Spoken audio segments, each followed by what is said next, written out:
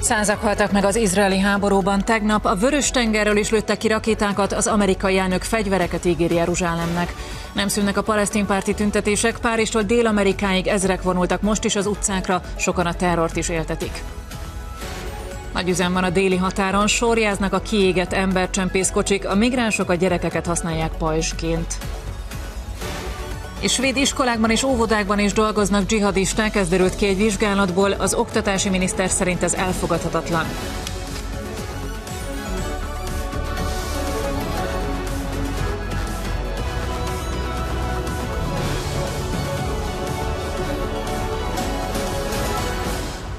Ez a híradó fél nyolctól az M1-en, Messzes Boglárka vagyok, jó estét kívánok!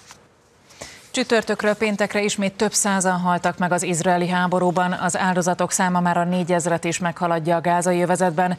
Közben egy a Vörös-tengeren állomásozó hadihajó rakétákat és drónokat lőtt le. Joe Biden amerikai elnök hosszú távú fegyveres támogatásáról biztosította Izraelt. Zseblámpák fényénél keresték a túlélőket csütörtök este egy gázavárosi ortodox templomnál. Szemtanúk szerint sokan éppen a bombázások elől menekültek a templomba. Az emberek azt hitték, a templomban biztonságban lesznek, de a pusztítás ide is követte őket, mondta egy palesztin férfi. A palesztin hatóságok és a Jeruzsálemi Ortodox Egyház Izrael tette felelőssé a több mint tíz ember halálát okozó incidensért. Az izraeli hadsereg szerint azonban a csapás egy katonai parancsnokság ellen irányult. A Hamas és a Hezbollah fegyveresei továbbra is rakétákat lőnek ki izraeli területekre. A zsidó állam hadserege viszonozza a tüzet Gázánál és a libanoni határon is. Az izraeli hatóságok szerint csütörtökön többen is megsérültek a határ közeli Kiryat Smónában, ezért a hatóságok elkezdték kiüríteni a környékbeli településeket. A Pentagon szóvivője szerint közben kis hián újabb ország is csatlakozott a harcokhoz. A vörös tengeren állomásozó USS Carney hadihajónk legénysége csütörtök este három rakétát és drónokat lőtt le. Nem tudjuk, mi lehetett a pontos célpontjuk, de Jemenből érkeztek, és Izrael felé tartottak, mondta a Pentagon szóvivője, aki hozzátette, Amerikának kiterjedt légvédelmi rendszerei vannak a térségben, amelyeket továbbra is használni fog, hogy megvédje magát és a partnereit. Az Egyesült Államok hadi felszereléssel is támogatja Izraelt. Az első szállítmány csütörtökön érkezett meg. A Ben Gurion nemzetközi repülőtéren páncélozott csapatszállító járművek gurultak ki a hordozógépekből. Az amerikai elnök az ovális irodából közvetített rendkívüli nyilatkozatában az Izrael melletti kiállás fontosságáról beszélt. Amerikának nem érdeke hátat fordítani sem Ukrajnának, sem Izraelnek. Költségvetési hozzájárulást fogok kérni a kongresszustól, ami egyaránt lehetővé teszi Amerika biztonsági igényeinek kiszolgálását és a kulcsfontosságú partnereink, így Ukrajna és Izrael támogatását. Fogalmazott Joe Biden, aki ugyanakkor figyelmeztette Izraelt, ne essen ugyanabba a hibába, mint Amerika a 2001. szeptember 11-i terrortámadás után, amikor nem elég pontosan határozott határozta meg, ki is az ellenség. Az izraeli hadsereg tankjai közben teljes harckészültségben várakoznak az ország déli határán. Az izraeli védelmi miniszter az itt állomásozó katonáknak úgy fogalmazott, hamarosan közelről is szemügyre vehetik a palesztinok lakta területet, mert a támadási parancs nem fog elmaradni. Szerinte a háború lehet, hogy hetekig vagy hónapokig is elhúzódik, de az biztos, hogy a Hamas teljes felszámolásával fog véget érni. Folyamatosak a tüntetések a palesztinok és a terror mellett a világban. Izraelt gyilkosnak, a francia elnököt pedig bűnrészesnek nevezték Párizsban azok a tüntetők, akik Palesztina felszabadítását követelték. Demonstráltak az Egyesült Államokban és Dél-Amerikában is. Itthon közben továbbra sem lehet a terror mellett tüntetni, egy mára tervezett demonstrációt is betiltott a rendőrség. A rendőrök gyűrűjében hangosan követelték Gáza bombázásának leállítását csütörtök este Párizs belvárosában. A köztársaság téren több százan skandálták, hogy Izrael gyilkos, Macron bűnrészes és Palesztina felszabadítását követelték. Tüntetni kell, Gázában civilek halnak meg, mondta egy 62 éves, Franciaországban élő palesztin férfi, a gázai kórházat támadás áldozataira utalva. A plakátokon a soha többé az Gázára is érvényes, valamint mi nem vagyunk antiszemiták volt olvasható, miközben végig a zsidókat gyalázták.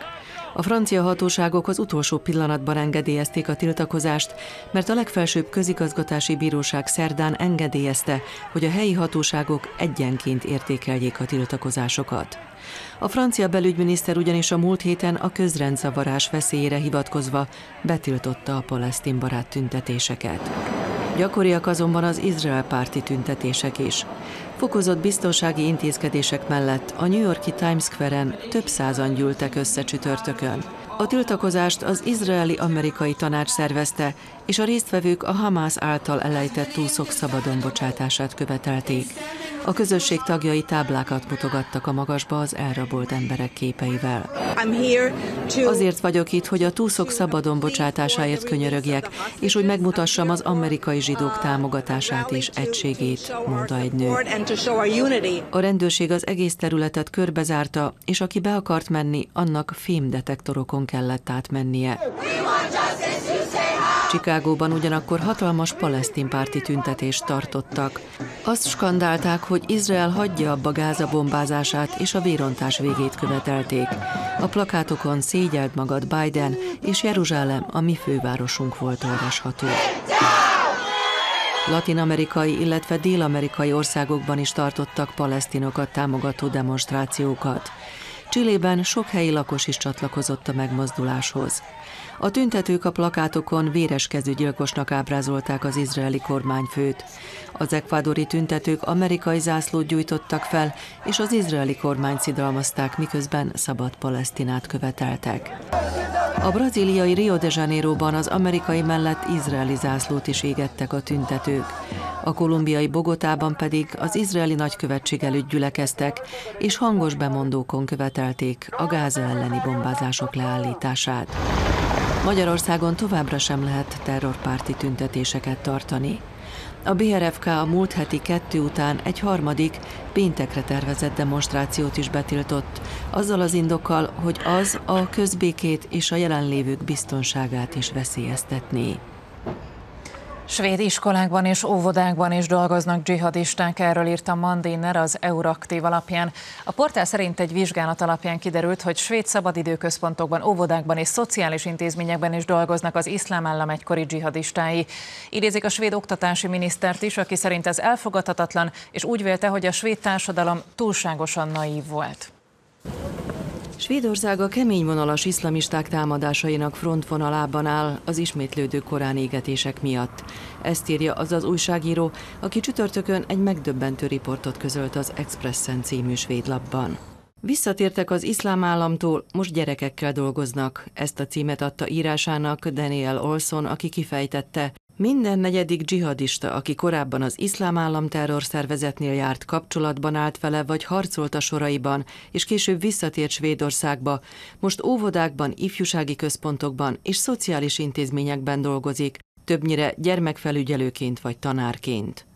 Egy magasrangú terrorista özvegye is nyilatkozott az újságírónak, aki hazatérve Svédországba dajka lett. Azt mondta, az óvodában mindig találunk munkát. A cikk megjelenése után a liberális svéd oktatási miniszter felháborodott, és arról beszélt, hogy a svéd társadalom túl naív volt az iszlám állam harcosai kapcsán. Lotta Edholm szerint teljesen elfogadhatatlan, hogy olyan emberek dolgozzanak svéd iskolákban, akik terroristák. A tárcavezető szerint a hatóságoknak hatékonyabban együtt kell működniük, és enyhíteniük kell a titoktartási szabályokon. Kiderült ugyanis, hogy az egykori ISIS harcosok közül összesen 21-en találtak munkát állami munkaadóknál, annak ellenére, hogy a biztonsági szolgálatok többször is arra figyelmeztettek, az úgynevezett hazatérők radikalizálódhatnak. A skandináv országban csak az idén változott meg az a törvény, amely szerint a terrorista szervezetekben való tagság önmagában nem volt bűncselekmény. Eddig a terrorszervezetekhez csatlakozó svédeket is csak akkor tudták felelősségre vonni, ha bizonyítottan bűncselekményt követtek el. Mivel a törvény visszamenőlegesen nem érvényes, az eddigi hazaérkezett dzsihadistákat lehetetlen felelősségre vonni. Valós veszély, hogy lehetnek Európában szimpatizánsai a Hamasnak, erről egy szakértő beszélt az M1-nek. Szerinte 2015 óta rengeteg olyan illegális bevándorló érkezett Európába, aki kötődött valamilyen terrorszervezethez. Az M1 évek óta forgat a balkáni útvonalon, ahol a migránsok többször is beszéltek arról, harcedzettek, katonák voltak, és tudnak bánni a fegyverekkel. Gyilkosság miatt helyszíneltek a rendőrök a svédországi Tullinge városában. Sajtóhírek szerint egy kiskorú szomáliai bevándorló lövöldözött, akit egy török migráns banda bérelhetett fel. Két nőt megölt. Ezek pedig a brüsszeli terrortámadás képei. Az elkövető két svéd futballszurkolót lőtt agyon, a támadást az iszlám állam vállalta magára. De nem csak Nyugat-Európában aggasztó a helyzet, az ME stábja évek óta forgat a balkáni országokban. A migránsok sok esetben beszéltek már arról, hogy ismerik a fegyvereket, tudják is használni azokat, és van harci tapasztalatuk. Kommandós voltam Afganisztánban, sokat harcoltam a seregben, mondta egy migráns korábban az M1-nek. A seregben szolgáltam Afganisztánban, kommandós voltam, fogalmazott egy másik. Végrehajtanak valamiféle agresszív cselekményt bárki ellen. A Migrációkutató Intézet vezető kutatója szerint 2015 óta rengeteg olyan migráns érkezett Európába, aki eleve tagja valamilyen terrorszervezetnek. Saifu Omar szerint látható jelei vannak annak is, hogy a közel-keleti migránsok szimpatizálnak a Hamas terrorszervezettel is. Valós veszély, hogy lehetnek Európában, és vannak is bizonyára nagy számmal szimpatizánsai a Hamasnak, akik különösen egy ilyen érzelmileg felfokozott helyzetben, amikor a közösségi médiát elöntik a borzalmasnál borzalmasabb képek a háborúról, úgy érzik, hogy eljött az ő idejük, és aktivizálódhatnak. A nyugat-európai terrortámadások után a Magyar Terrorellenes Koordinációs Bizottság is összeült. A tanács akkor arra jutott, hogy egyenlőre nem indokolt Magyarország terrorfokozatának megváltoztatása, ami 2016 márciusa óta hármas, azaz közepes szinten van. Már a baloldali sajtó is elismeri, hogy hibás az unió migrációs politikája, erről ír a Magyar Nemzet. A lap szerint a múlt pénteki brüsszeli terrortámadás után megjelent HVG cikkből az olvasható ki, hogy a hiányos szabályozások miatt észrevétlenül járhatnak, kelhetnek a szélsőségesek Európában. A Magyar Nemzet szerint már a baloldali sajtó is arra utalgat, hogy két svéd férfi haláláért közvetetten lényegében a brüsszeli szabályozása felelős. A brüsszeli mészárlás sokakat megrázott. A 45 éves tunéziai elkövetőt híradások szerint évek óta figyelte a hatóság. A terrorista 2019. novemberében nyújtott be menedékkérelmet, amelyet 2020. októberében elutasítottak, vagyis illegálisan tartózkodott Belgiumban. Elemzők szerint pedig folytatódhat a migráns terror. Európa nyugati országaiban ugyanis olyan mennyiségű bevándorló él, hogy szinte lehetetlen ellenőrizni őket. Svédország egyes városaiban gyakorlatilag a migráns bandák vették át az utcák ellenőrzését. A hvg.hu arról ír, hogy a brüsszeli terrorcselekmény tökéletesen példázza, miért nem megfelelőek a jelenlegi migrációs szabályok, és hogy miért van szükség egy olyan új jogszabályra, amely megelőzi az ehhez hasonló helyzetek kialakulását. A lap külön kiemeli az Európai Bizottság elnökének, valamint a belga és a svéd miniszterelnök szerdai közös sajtótájékoztatóját, ahol mindhárman elítélték a merényletet. Egyetértettek abban, hogy a biztonság javítása érdekében szigorítani kell a határ ellenőrzéseket, és fel kell gyorsítani a hazatelepítési programot. Ezt a támadást a gyűlölet motiválta. Európában nincs helye a gyűlöletkeltésnek. Napjainkban azt látjuk, hogy a gyűlöletbeszéd futótűz gyorsasággal terjed a közösségi médiában. A gyűlöletbeszédnek valós következményei vannak. Tudjuk, hogy terrorcselekményekhez vezet, mondta az Európai Bizottság elnöke Ursula von der Leyen. A svéd miniszterelnök szerint a terroristák félelemben akarják tartani a szabad és nyitott társadalmak állampolgárait, mert nem hajlandóak elfogadni az európai értékeket. Tudnunk kell, kik tartózkodnak Svédországban. Legálisan vagy illegálisan vannak itt. Ha nem legálisan vannak itt, akkor kötelesek elhagyni az országot. Meg kell védenünk a saját európai határainkat. Ha nem tudjuk, az Európán belüli szabad mozgást sem tudjuk fenntartani, fogalmazott Ulf Kristersson. A Magyar Nemzet a hvg.hu cikkére reagálva azt írta, már a baloldali sajtó is elismeri, hogy az Európai Unió eddig elhibázott politikát folytatott. Közvetetten ugyanis a brüsszeli szabályozása felelős a két svéd férfi haláláért, legalábbis erre utal burkoltan a baloldali sajtó, fogalmaz a Magyar Nemzet. A lap hozzáteszi, az új migrációs csomag azonban bizonyosan nem jelenthet megoldást, hiszen azt deklarálná, hogy meghatározott kvóták alapján minden tagállamnak kötelessége lenne befogadni meghatározott számú bevándorlót, és aki erre nem hajlandó, annak komoly fejpénzt kellene fizetnie a közös uniós költségvetésbe.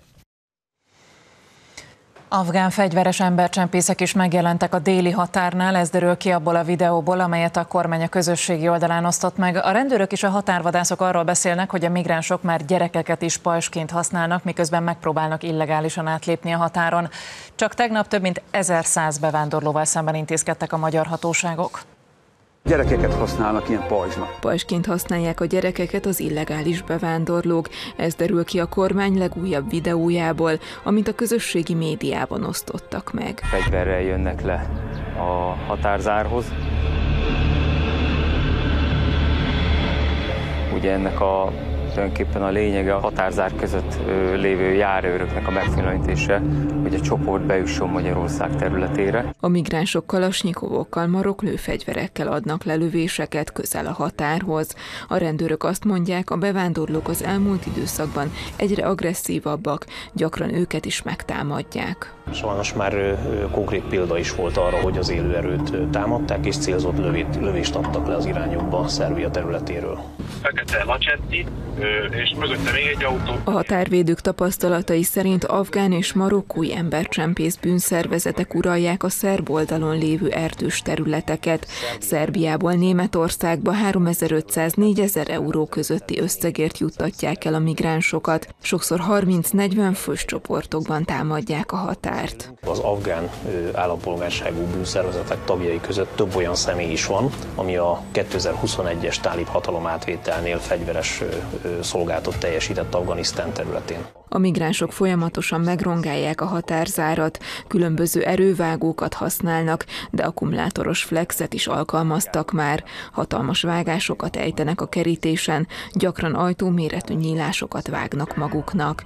A rendőrök azt mondják, ha nem lenne a kerítés, akkor visszaköszönnének a 2015-ös állapotok, amikor nagy tömegben vonultak a migránsok. Esküdtettünk az életünk árán is megvédjük Magyarország államhatárát. 22 év szolgált ide alatt megmondom őszintén már, hogy nem nagyon veszem már fel az ilyet.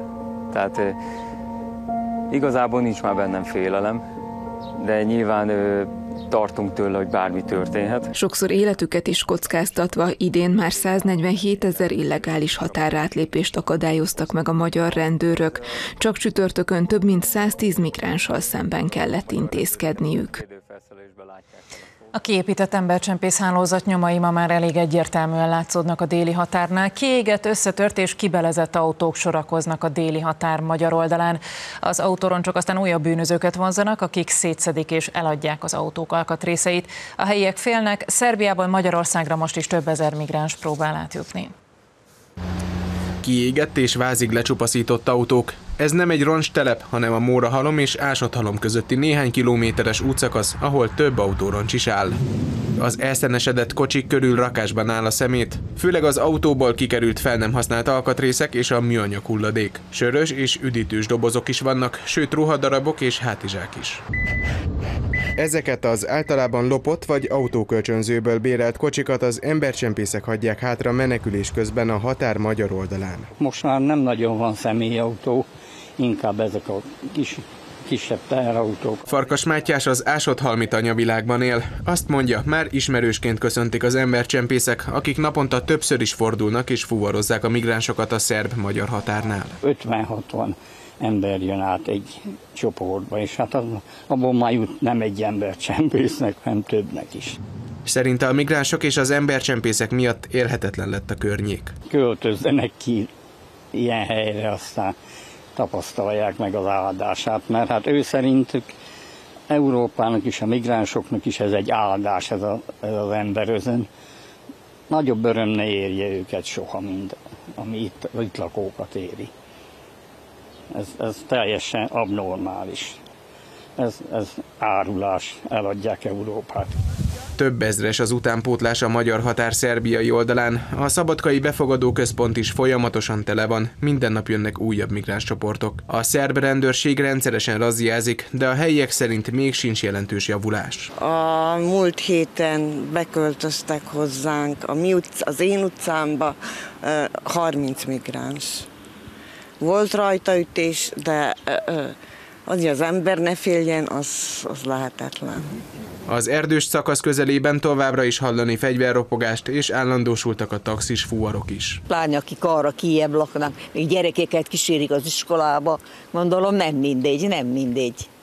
Úgyhogy hát félelemben én is egyedül élek, és környes körű erdő van, hát nem mindegy. Az elmúlt hetek közel-keleti eseményei és a nyugat-európai terrorfenyegetések miatt szakértők arra hívják fel a figyelmet, hogy a Balkánról Európa felé tartó migránscsoportok között sokan lehetnek olyanok, akik papír nélkül érkeznek és biztonsági veszélyt jelentenek az Európai Unióra.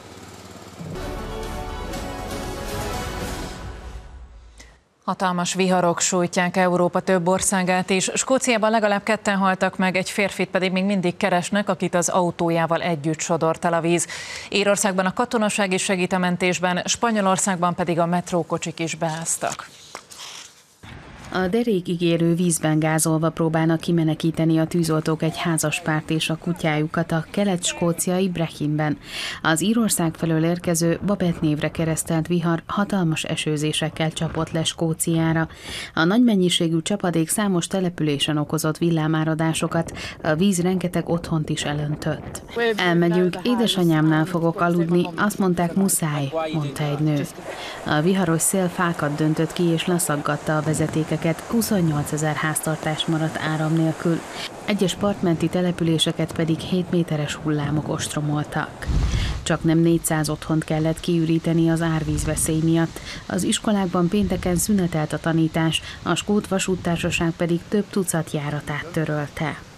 Nem tudjuk teljesen megszüntetni a zavarokat, attól tartok, hogy még jelentős fennakadások lesznek a heves esőzések miatt.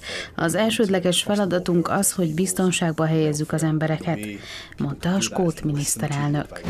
A viharnak már halálos áldozatai is vannak, a hatóságok már korábban vörös fokozatú riasztást adtak ki, amit csak akkor rendelnek el, ha úgy vélik, hogy életveszély fenyegetheti a térségben élőket. Babett Írországban is rendkívül súlyos károkat okozott. Van, ahol 24 óra alatt több csapadék hullott, mint máskor egy egész hónapban. Az egyik dél-írországi településen több mint száz épületet öntött el az ár. A lakók kimenekítésébe a katonaságot is be kellett vonni. A vihar folyamatosan kelet felé halad, az előszele pedig már elérte Dániát. A Dán Meteorológiai Intézet arra figyelmeztetett, a Babet olyan súlyos viharokat okozhat az országban, amilyenre az elmúlt száz évben nem volt példa. Szakértők szerint hatalmas mennyiségű csapadékra, a partmenti területeken pedig akár 4 méteres hullámokra is számítani lehet. Közben Spanyolországot is rendkívül heves ítéletidő sújtja. Az Elin névre keresztelt vihar következtében Madridban rekordmennyiségű csapadék zúdult le, ami hatalmas káoszt okozott.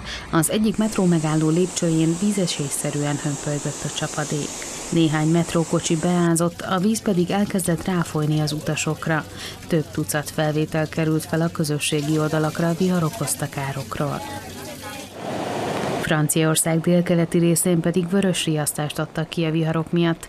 A 140 km per órás széllökések fákat és villanyoszlopokat csavartak ki a helyükről. A folyók sodrása olyan erős, hogy egy híd is összeomlott. 250 lakost evakuálni kellett. Mindeközben itthon az ország csak nem felén összesen 110 meteorológiai mérőállomáson dölt meg ma a napi melegrekord. Kapcsolunk is a Délalföldre Tóth Tamás meteorológushoz. Szervusz Tamás, hát mennyire számít rendkívülinek október második felében ez az időjárás? Szervusz, köszöntök minden híradó nézőt. Nos, hogyha körülnéznek, vagy éppen a mögém tekintenek, akkor láthatják, hogy itt Szeged belvárosában emberek ülnek kint a teraszokon, a laza ruhában. Mindemellett 23 fok van, és élénk déli szél fúj, tehát rendkívülinek mondható ez így október második felében. Egy valomással is tartozom önöknek, még a bejelentkezés előtt mi is elnyaltunk egy fagylaltot. Tehát nagyon rendkívüli az időjárás, hiszen Bácskiskun megye keleti fele tarolt ma a melegrekordok tekintetében. Tiszalpáron rögzítette az Országos Meteorológiai Szolgálat a legmagasabb hőmérsékletet 30,3 fokot. Kiskunfélegyházán is elérte a 30 fokot, de Kiskunmajsán és Jászszent Lászlón is majdnem mértek 30 fokot. Itt Szegeden egyébként 28 és fél fokot mutattak a legmelegebb pillanatokban a hőmérők. Egyébként ezt a nagyon szokatlan és rendkívüli időjárást ugyanaz a ciklon okozza, csak mi annak a szerencsés keleti-délkeleti oldalán vagyunk, amelynek áramlási rendszerében, tehát egészen Észak-Afrika felől érkezett ez a rendkívül meleg légtömeg. Nem hiába dölt meg tehát több mint három fokkal a mai napi melegrekord. És nem hiába állunk itt egyébként Szeged belvárosában, mert hogy 1892-ben, tehát több mint száz évvel ezelőtt rögzítették itt a belvárosban a legmagasabb októberi hőmérsékletet, persze október elején éjszaka. Ma hajnalban Péren ugyanennyit mértek, 19,5 fok volt, most pedig minden esély megvan arra, hogy a történelemben először trópusi éjszaka legyen Magyarországon, október 21-én éjszaka, ami azt jelenti, hogy 20 foknál alacsonyabbra az ország egyes részein, különösen itt a déli délkeleti részein nem csökken majd a hőmérséklet, tehát ez még a napi, a mai napi melegrekordnál is rendkívülibb klímatörténelmi esemény lesz, és még akár holnap is megdőlhet egyébként a napi melegrekord a keleti-délkeleti határvidéken, hiszen 28, esetleg 29 fok közelében alakulhat még a hőmérséklet, bár egy hidegfront érkezik, záporokkal, akár nyárias zivatarokkal is. A hidegfront mögött egyébként kismértékben visszaesik a hőmérséklet, de így is nagyon bőven a klimatológiai átlag felett marad a következő napokban, és az éjszakák is rendkívül enyhék lesznek. Ugye a hét elején még az ország nagy részén fagyott, ehhez képest most éjszaka tehát körülbelül 20-22 fokkal lesz nagy területen melegebb. Egyébként ilyenkor október 20-a körül egy átlagos éjszakán általában 3 és 5 fok között alakul a minimumérték Budapesten jellemzően 6. Most ehhez tegyük azt hozzá, hogy a soron következő éjszaka, tehát szombat hajnalban lesznek területek, ahol 21, esetleg mindössze 22 fok lesz. Ijesztő. Tott Tamásnak köszönjük szépen. Baleset veszélyes lehet az új köztemető Budapesten, erről is szó lesz a folytatásban, de előtte lássuk, hogy mi lesz még a híradóban. A fűtési szezonban is marad a rezsicsökkentés, a gáztárolók is jól állnak. Európában itthon az egyik legolcsóbb az áram és a gáz. Holnap indul a megújult Delta. Fejős Ádám hétköznapi kérdésekre keresi a választ szórakoztató formában 3D grafikákkal. Magyarország továbbra is kiáll kelet és nyugat kultúrát együttműködése mellett. Erről a külgazdasági és külügyminiszter beszélt a kereskedelmi ügyekkel foglalkozó Európai Uniós miniszterek informális tanácsülésén Valenciában. Szijjártó Péter azt mondta, Magyarország ellene van minden olyan törekvésnek, amely a kínai és az európai gazdaságot el akarja szigetelni egymástól. Mi azt gondoljuk, hogy az igazi kockázat az európai gazdaság számára az, hogyha Brüsszel és egyes európai országok megpróbálják ellehetetleníteni az európai-kínai gazdasági együttműködést. Mi magyarok, mi Magyarország a keleti és a nyugati gazdaság találkozási pontjává váltunk Közép-Európában. Mi világosan látjuk azt, hogy a keleti és a nyugati vállalatok kiválóan tudnak egymással együttműködni, a keleti és nyugati vállalatok együttműködéséből siker van, abból Európa profitál. Ebben a fűtési szezonban is marad a rezsicsökkentés, a családokat, az önkormányzatokat és a cégeket is segítik. Közben a hazai gáztárolók 97%-os töltöttséggel kezdték a fűtési szezont, vagyis bőven lesz fűtőanyag egész térre. Köveskúték folyamatosan feljegyzik a gáz és villany költségeiket. Azt mondják, mióta bevezették a rezsicsökkentést, nincs mitől tartaniuk. Nem kell aggódni, mint régen, hogy jaj, ne gyújtsunk még villanyt, mert nem lesz pénzünk kifizetni. Tíz éve fizetnek csökkentett áru gáz és villanyszámlát a háztartások itthon. Az intézkedés még az energiaválság idején is megóvta a magyar családokat.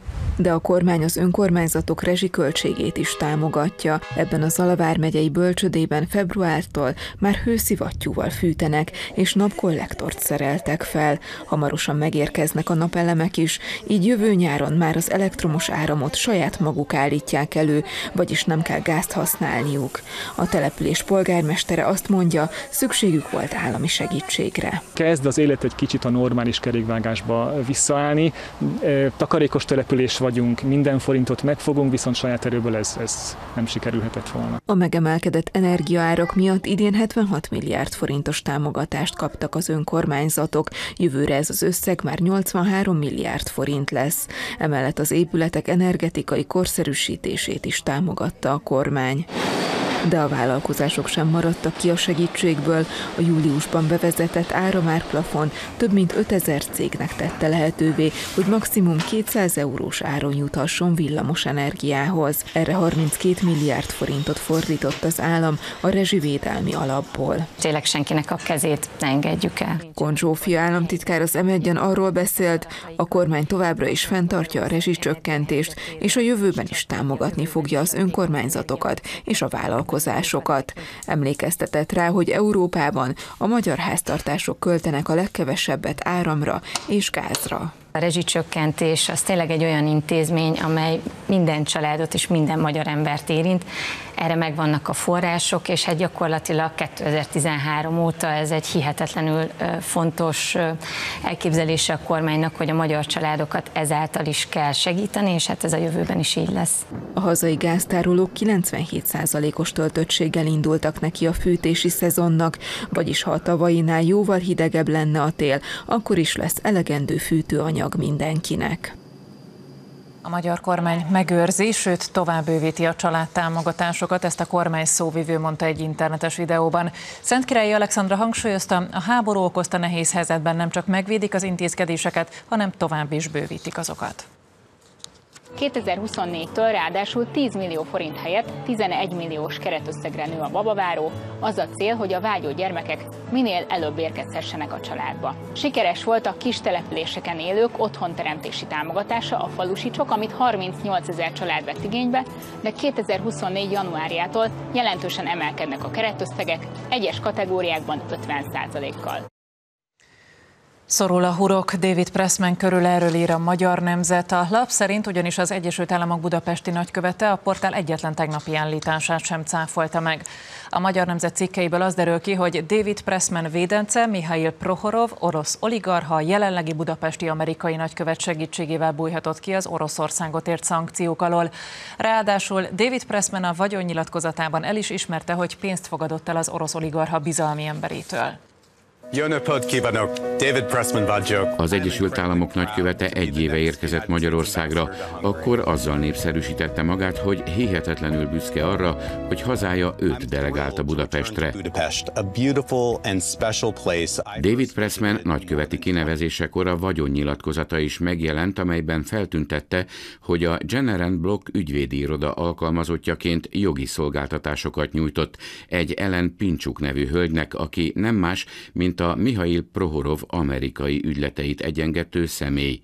A Magyar Nemzet csütörtökön írta meg, hogy Prohorov az egyik leggazdagabb orosz üzletember, aki ezer szállal kötődik Vladimir Putyin elnökhöz, és egyike annak a 45 orosz oligarchának, akiket nem érintenek a nyugati szankciók. Nettó vagyonát 11 milliárd dollárra becsülte a Forbes magazin 2023. októberében.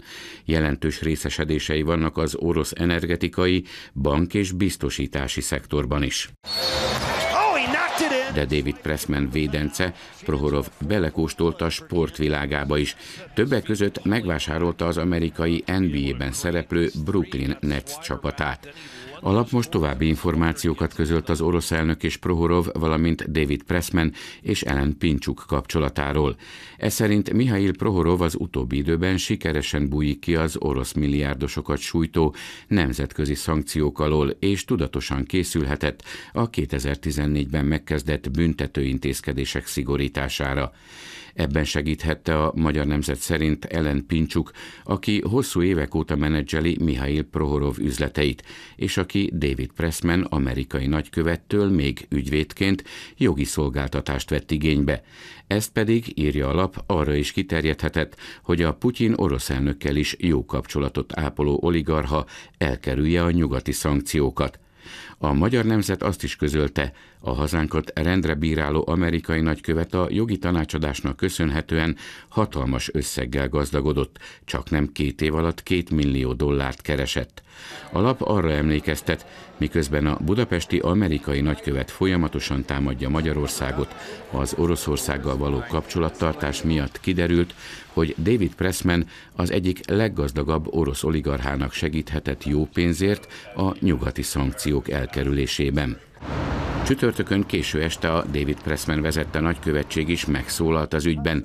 Ebben valótlannak nevezték Kovács Zoltán korábbi nyilatkozatát, amelyben a kormányzati kommunikációért felelős államtitkár álszentnek nevezte a Magyarországot támadó nagykövetet. Ugyanakkor a Magyar Nemzet által bemutatott információk egyetlen konkrét állítását sem cáfolták. Itt azért van egy nagyfokú képmutatás. Miközben Amerika betiltotta az orosz olaj és földgáz importját, a számára igen fontos nukleáris fűtőanyagot, az uránt elfelejtette tiltó listára venni, emlékeztetett rá Erdélyi Rezső Krisztián. A Nézőpont Intézet elemzője David Pressmanről azt mondta, diplomataként az országok közötti együttműködés erősítése lenne a feladata, nem pedig a bírálat. A nagykövet feladata az, hogy elmélyítse a két országnak a barátságát vagy az együttműködését. Nyilván az lehetőséges, sőt kötelessége is a nagykövetnek bármelyiknek, nem csak az amerikainak, hogy a saját országa, a küldő ország álláspontját elmondja és megértesse. De ez nem fordulhat tehát kritikába, mert a kritizálása a fogadó országnak az viszont ténylegesen nem dolga, egyetlen misszióvezetőnek sem. David Pressman az újabb, a Magyar Nemzet által közölt információkat sem cáfolta. Az amerikai nagykövetség Facebook oldalán pénteken délelőtt csak arról posztolt, hogy az Egyesült Államok büszkén áll Ukrajna népe mellett. Remélhetőleg teljes körű tájékoztatást adott David Pressman arról, hogyan jött össze az a 416 tonna urán, amelyet az Egyesült Államok az idei év első felében vásárolt Oroszországtól. Így reagált Szijjártó Péter arra, hogy az amerikai nagykövet tegnap összehívta a NATO országok budapesti nagyköveteit azután, hogy Pekingben tárgyalt a magyar miniszterelnök és az orosz elnök. A külügyminiszter azt mondta, választ várnak az Egyesült Államok budapesti nagykövetétől, hogy NATO-s kollégáit tájékoztatta-e az amerikaiak vásárlásáról. Azt csak őszintén remélni tudjuk, hogy a nagykövet úr kihasználta ezt a lehetőséget, és teljes körű tájékoztatást adott a NATO-s nagykövet kollégáinak arról, hogy hogyan jött össze az a 416 tonna urán, amelyet az Egyesült Államok az idei esztendő első felében vásárolt Oroszországból, amely majdnem két és félszer akkora mennyiség, mint tavaly, és akkora mennyiség, amekkora nem volt az elmúlt 18 esztendőben egyetlen eh, fél év alatt sem. Reméljük, hogy ebben a tekintetben is eh, kimerítő és minden részletre kiterjedő tájékoztatásra került sor ezen a bizonyos értekezleten. Rekordmennyiségű uránt vásárol Amerika az oroszoktól, miközben Európának tiltja, hogy orosz energiát vásároljon, erre emlékeztet az Ökonomusz gazdaságkutató. Elemzésük szerint Washington az év első felében két és félszer több uránt vett Moszkvától, mint egy évvel korábban. Elemzők szerint ez nem véletlen. Szankciós csomagok sorozata tiltotta meg az orosz-ukrán háború kitörése után az orosz földgáz és kőolaj importját az Európai Unió tagállamaiba és az Egyesült Államokba. Washington azonban a korlátozást csak részlegesen tartotta kötelezőnek magára nézve. Miközben az Egyesült Államokba betiltotta az orosz kőolaj és földgáz importját, az orosz urán behozatalát nem tette tiltó listára. Ez ugyanis igen fontos nukleáris fűtőanyag Amerikának. Az Ökonomusz elemzése szerint az Egyesült Államok 92 atomreaktorának csak nem negyedét Oroszország látja el üzemanyaggal. Az amerikai atomerőművek az urán nagy részét importálják, egyebek mellett Oroszországtól. A gazdaságkutató emlékeztet rá, hogy a nyugati kormányok nem vetettek ki szankciókat a Rosszatomra, mert ezzel nagyobb kárt okoztak volna saját nukleáris iparuknak, mint Oroszországnak. Az Egyesült Államok lényegében több mint kétszer annyi uránt vásárolt Oroszországtól, mint egy évvel ezelőtt, és nem tudjuk, hogy ezek a számok merre fognak kifutni. Amerika idén kétszer annyi uránt vásárolt Oroszországtól, mint tavaly, állítja elemzésére hivatkozva az Ökonomusz. Ez az óriási mennyiség több mint kétszer nagyobb, mint az előző év azonos időszakában. Az elmúlt 18 évben ilyenre nem volt példa. Az orosz-amerikai uránkereskedelem szakértők szerint arra is utalhat, hogy az amerikai erőművek üzemeltetői arra számítanak, hogy hamarosan az urára is szankciókat vetnek majd ki. Stratégiai tartaléképítéséről lehet szó ebben az esetben, hiszen 2023 májusában azt láttuk, hogy előrelépések történtek az ügyben, hogy az Egyesült Államok törvényhozása elfogadjon szankciókat az orosz uránra, ugyanakkor ez is tartalmazna a jövőben kivételeket olyan esetekben, amikor kikerülhetetlen az, hogy Oroszországból származó uránt használjanak. Az ökonomus szerint 2023 májusában kapott új lendületet az Egyesült Államokba irányuló orosz uránimportot tiltó törvényjavaslat. Ezt az amerikai elnöknek is alá kell még írnia. Érdekes ugyanakkor, hogy az amerikai javaslat olyan mentességeket is tartalmaz, amelyek lehetővé teszik az alacsony dúsítású urán behozatalát Oroszországból, ha az amerikai energiaügyi miniszter megállapítja, hogy nincs alternatív forrás például egy atomreaktor üzemeltetésére. A DK szerint itthon nem fizetik meg eléggé a tűzoltókat és a rendőröket, pedig lenne pénz rájuk a magyar költségvetésben. Dobrev Klára azt mondta, a magyarok közös pénzét arra kell használni, hogy egy ránk vigyázó, erős állam épüljön. Egy szociáldemokrata kormány látható és cselekvő rendőrséget akar. Látható rendőrséget, mert akkor érezzük magunkat biztonságban, és akkor fogja tudni mindenki, hogy a bűnt bizony követi a bűnhődés. A Mi Hazánk mozgalom szerint tűzparancsal kellene megállítani az illegális migránsokat a déli határon. Dócs Dávid azt mondta, Magyarország egy szuverén állam, ezért joga van megvédeni a határait. Az Európa Unió erre létrehozott szervezet, a Frontex ezt nem teszi, akkor hagyják nekünk, hogy megvédjük a határainkat. Nem szeretnénk, hogyha több illegális migráns érkezne hazánkba. Az LNP azt követeli, hogy a kormány mondja fel az azeri áramszállításról szóló szerződést. Tetlákörs azt mondta, érthetetlen, hogy a kormány miért erőlteti az azeri szélenergiát, miközben Magyarország területén akadályozza a szélerőművek telepítését. Kezdjük el végre valóban a zöld átállást, de ehhez ne több ezer kilométerrel hozzunk zöldnek mondott energiát, hanem termeljük meg, termeljék meg hazai vállalkozások idehaza Magyarországon. A párbeszéd azt követeli, hogy függesszék fel a Gödi akkumulátorgyár működését, amíg az üzem nem kapja meg a jogszabályban előírt engedélyeket. Jávor Benedek azt mondta, a gyár ügyében elindult egy egységes, egységes környezethasználati engedélyezési eljárás. A vizsgálatnak ki kell terjedni a bővítés nyomán előálló új környezeti hatásokra, új helyzetre is, csak ezeknek a megfelelő mérlegelésével és vizsgálatával lehetséges az engedély kiadása. Életveszélyesek lehetnek a fővárosi temetők, erre hívta fel a figyelmet Dódics Gabriella, a Fidesz fővárosi frakciójának tagja egy hozzá eljutatott nyilatkozat alapján. A fővárosi közműcég munkatársai szerint főként a fakidőlések és a leszakadó ágak okozhatnak baleseteket. Szerdán írta arról a Magyar Nemzet, hogy egy belső dokumentum szerint a fővárosi temetői zöld területek fenntartási munkáival megbízott cég nem, vagy nem megfelelően végezte el a rábízott munkát, mégis kifizettek nekik 70 millió forintot. A szeméttárolók tele, így inkább mellé a földre rakják a hulladékot az emberek a budapesti új köztemetőben. Az M1 nézői által készített felvételeken az látszik, hogy a temető kettes parcellája felett gyakorlatilag a természet vette át az irányítást. A növényzet helyenként teljesen belepte a sírköveket, de vannak olyan kripták is, amelyekre faágak szakadtak rá. Helyenként pedig szemét borítja az emlékhelyeket. Az idős fák hatalmas ágai pedig veszélyt jelentenek a sírokra és az emberekre is. A leszakadt ágak ugyanis a sírkövek közötti útra is belógnak. Az új köztemető kettes parcellájában uralkodó káosz nem csak az elhunytak hozzátartozóinak okoz problémát. Ezt a levelet a fővárosi közművek egyik munkatársa írta. Azt írta, ő a temetkezési divíziónál dolgozik kertészeti főmunkatársként. A kézzel írott levélben az áll, idézzük, a közművek által fenntartott temető a fakidülések és a leszakadó ágak veszélye miatt élet és baleset veszélyes terület. A levelet Dódit Gabriella Fideszes önkormányzati képviselő osztotta meg közösségi oldalán.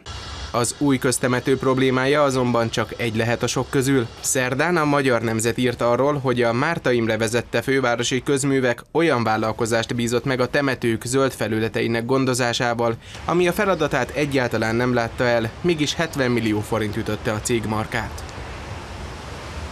Újjászületés előtt állhat a magyar mezőgazdaság, erről az agrárminiszter beszélt az Országos Mezőgazdasági és Élelmiszeripari Kiállítás megnyitóján. Idén Szerbia az Expo partnerországa.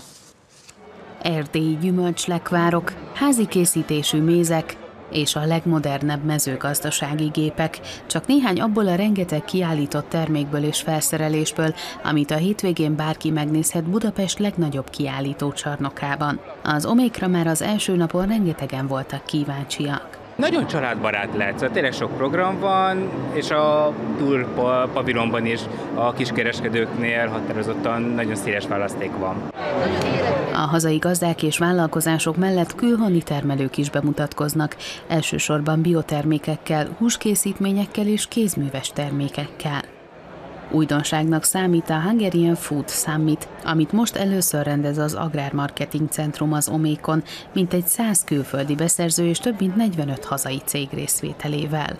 Rengeteg tárgyalás, közvetlen üzleti tárgyalás fog zajlani.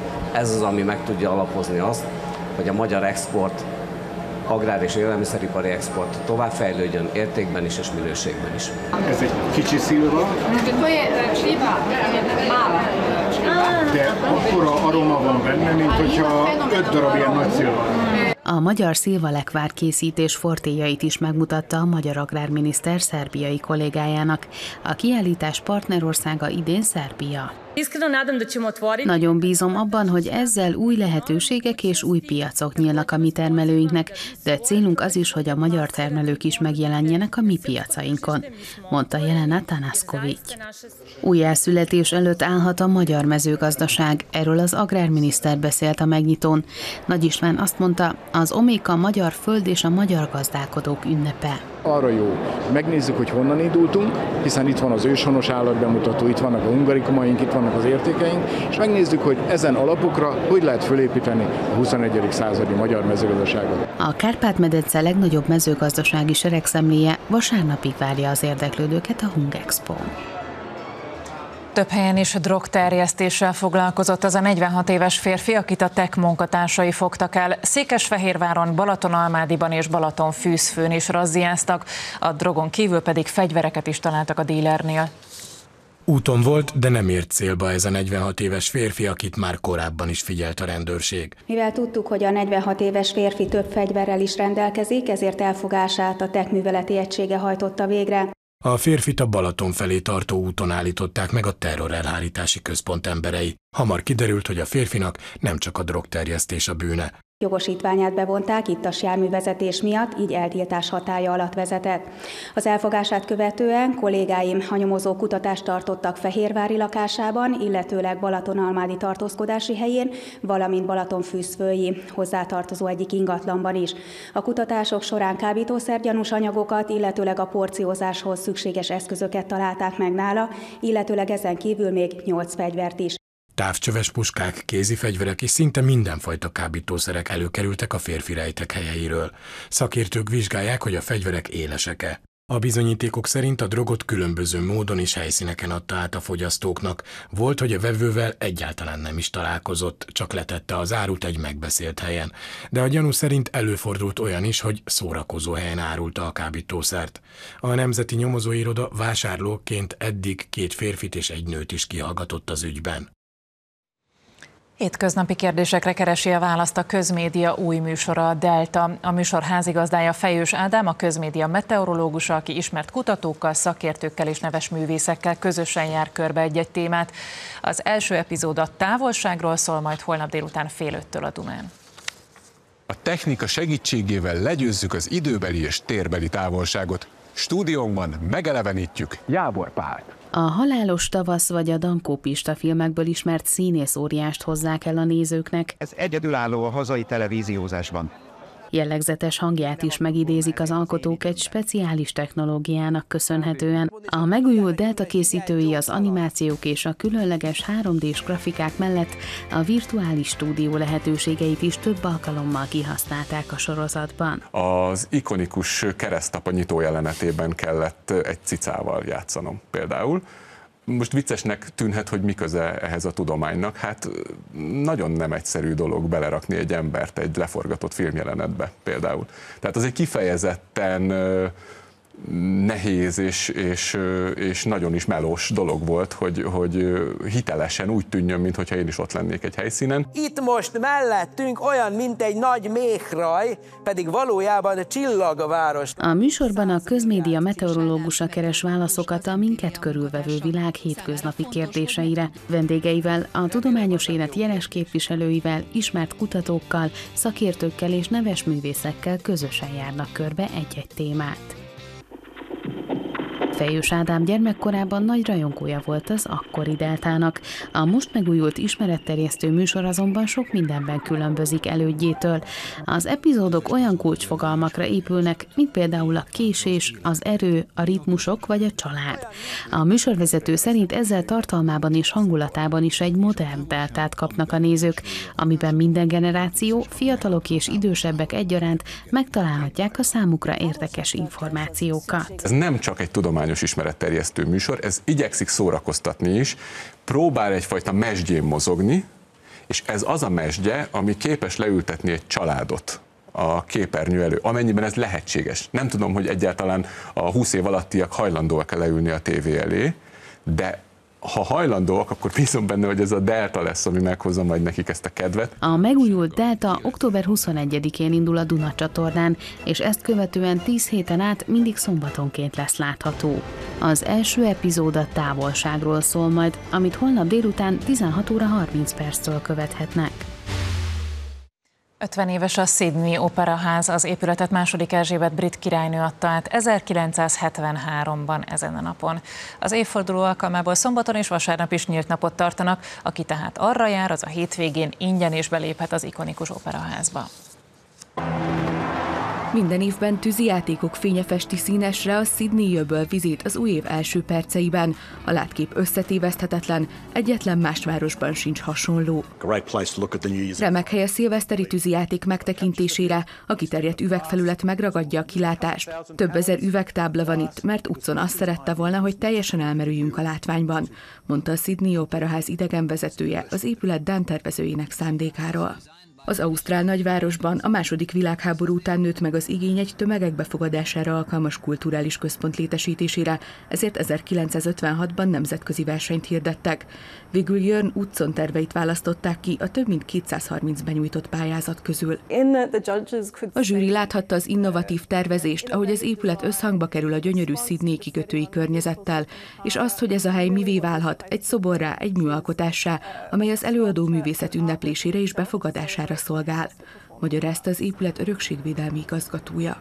Az építkezést 1959 márciusában kezdték el, a költségvetést eredetileg 7 millió ausztrál dollárra, mai árfolyamon 1,6 milliárd forintra tervezték. Végül a beruházás csak nem 15-ször ennyibe került, amelyet nagyrészt az új délvelszi lottó bevételeiből finanszíroztak. Amikor itt dolgoztam, az egész csak egy állványzat volt, meg egy védőháló arra az esetre, ha valaki leesik. Aztán hirtelen minden eltűnt, és ott voltak a zenészek a színpadon is játszottak. Addig még sosem hallottam szimfonikus zenekart, lenyűgöző volt. Emlékezett vissza az építkezésen dolgozó egyik munkás, aki később nyugdíjazásaig az operaházban dolgozott.